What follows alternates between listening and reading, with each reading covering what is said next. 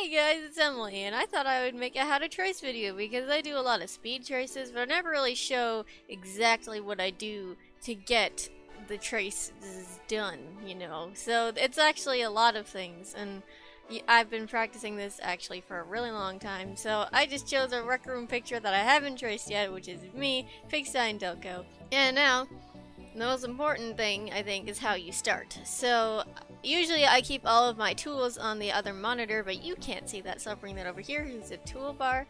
Here is the layers. I think you can open this, so you like if I close it by accident, you go to like Windows, um, dockable dialogues, layers, and that's what you want. You want the layers thing. And the tool options. That is also important. So I always start off by going to the circle tool and bringing it down to 2. That's the size that I use. So when you zoom in on it, it looks like that. That's like the brush size I use. so what I like to do is out make sure when I outline it, when I'm testing the outline, uh, it's a little bit too small. So what I would do is scale the image down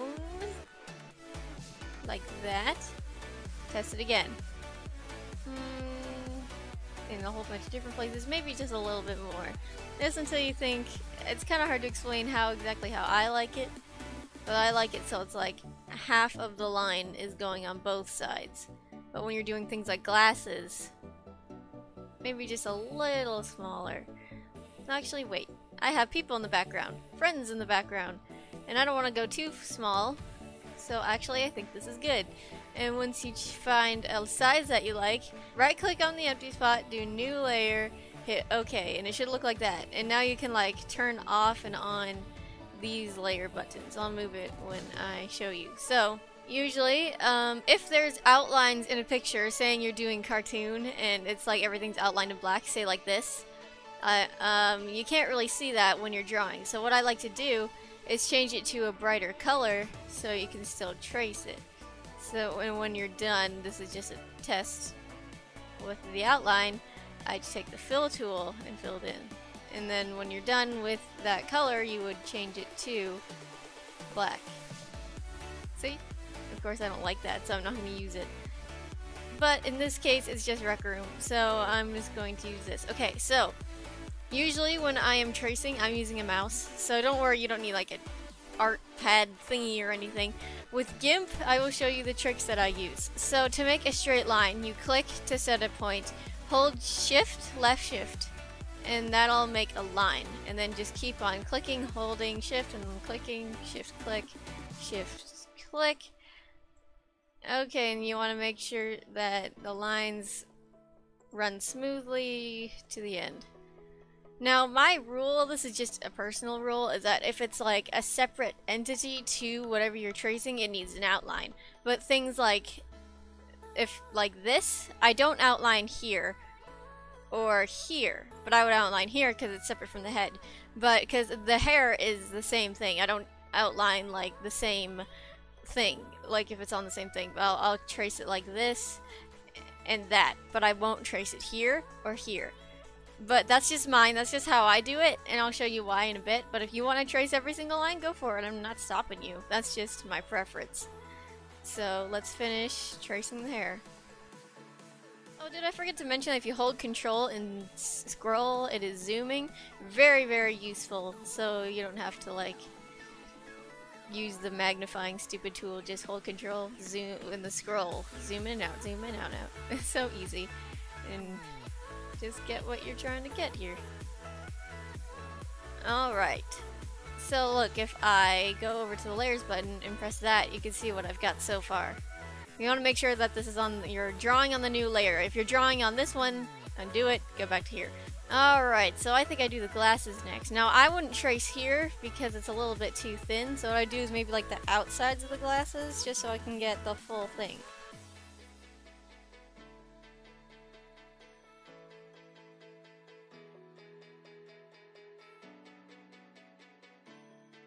Outside. See, look, I'll do this again. And now I do the inside, outside of the glasses. The inside, outside. Emily, look at how precise and thorough you're being. A general rule for me is that I like to go right to left and up to down when I trace. Alright, so we got the glasses outlined, easy stuff. Now I'm just gonna finish tracing the entire head now that you have the basics.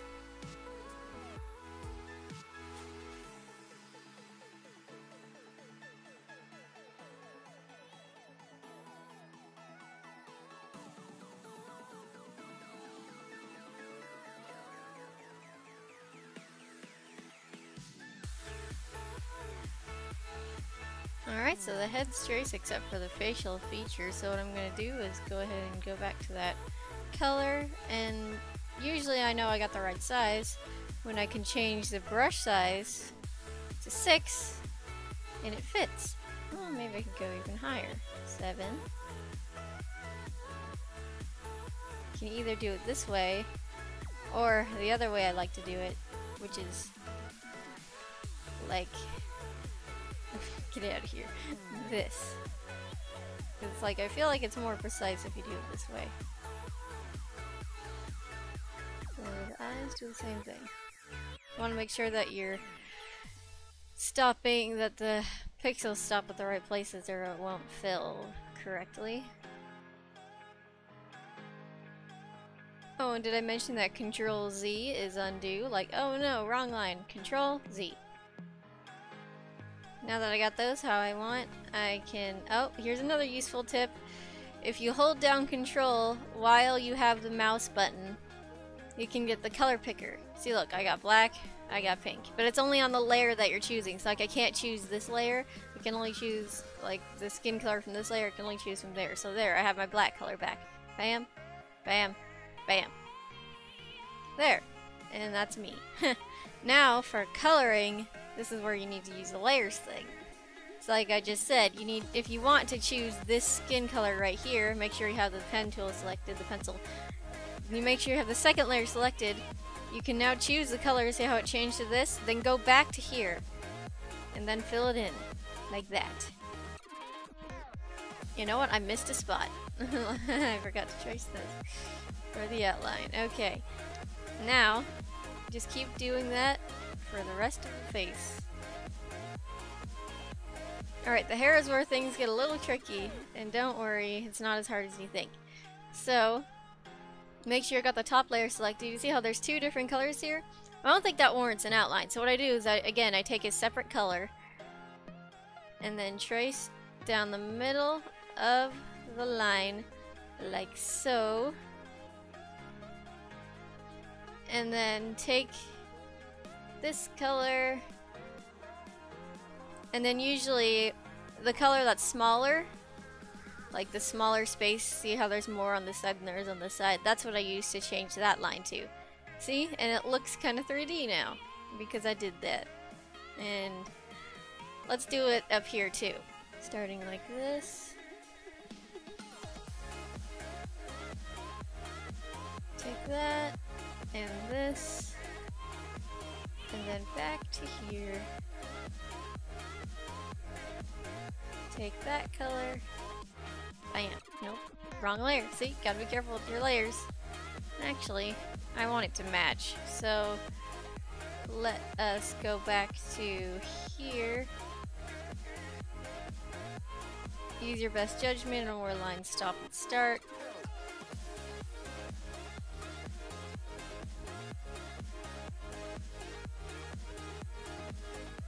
Again with this part.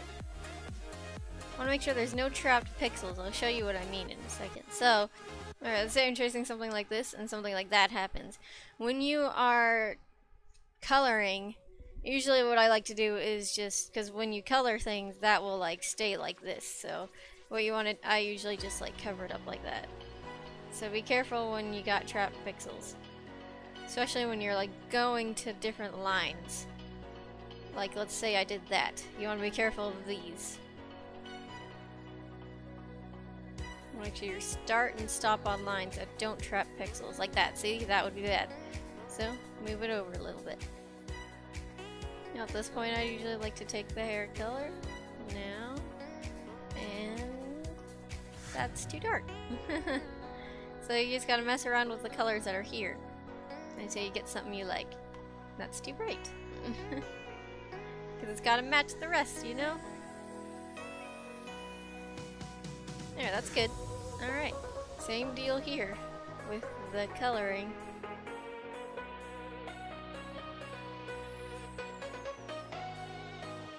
I'll finish with my body here. Some things are really hard to do with like textures, so I just ignore them.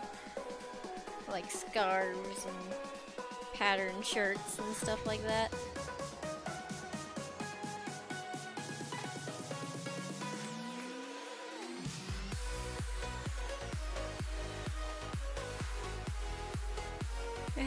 Predicament here of you can't really tell that this is raised up because the colors are pretty similar. So what I'm going to do is outline it. Breaking one of my usual rules, but if it enhances the image, then I will do it anyway.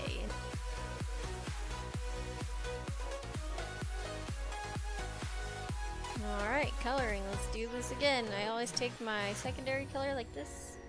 Do a line. Yep, this is me doing it fast. So this is the speed that I usually do it in.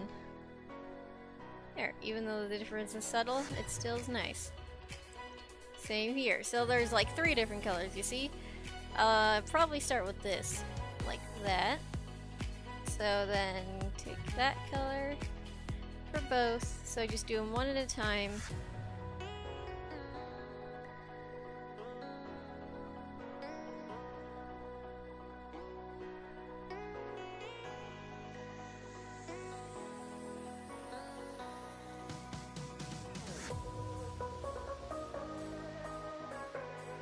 Now for these dots, I will probably try and find the right size here. Just keep going up until you think you get it.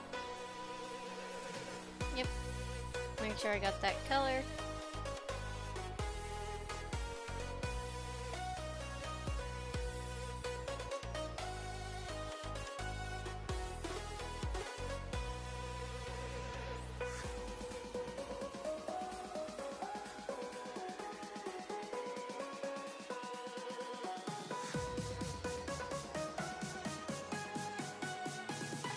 There we go. That's me. Oh, wait, I forgot one thing. The last thing. How I do backgrounds. Okay, so it's all on this layer, but what I do is use this tool, which is called, here, let me just have the backgrounds like this so you can see. It's called the color, select by color tool. So it selects the entire background. And then, let's say I want a pink background. I go, uh, take that color, and then I take the this color and make it slightly darker, this is just my preference, and then I go to the gradient tool.